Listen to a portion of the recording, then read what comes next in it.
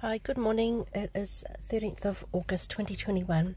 Um, there was something, some very, a very vital piece of the dream that was missed out.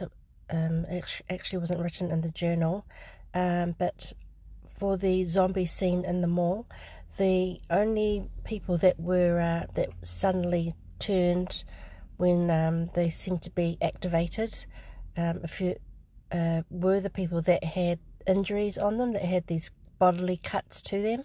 So this is where the the vaccine injury um, comes from. So only the the ones who have received receive that and get um, the injuries, um, they are the only ones that something happened to them. They they suddenly turned and they went berserk and crazy and turned on other people in the world and attacked them and tried to to kill them or uh, injure them um, and harm them. So um, I did share two recent dreams where this was shown in their dreams as well, and I think there's been some other zombie dreams released. I know Mike Triple Four shared them, but I didn't actually listen to them.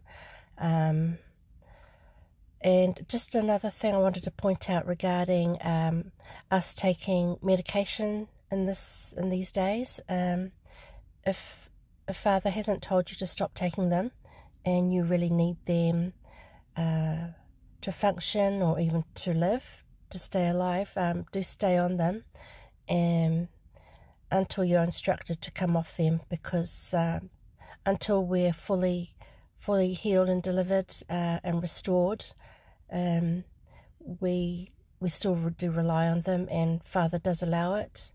Um, don't take them if you don't need to. Like people, some people even don't take uh, paracetamol or Panadol for headaches. You can take try and take natural remedies for those.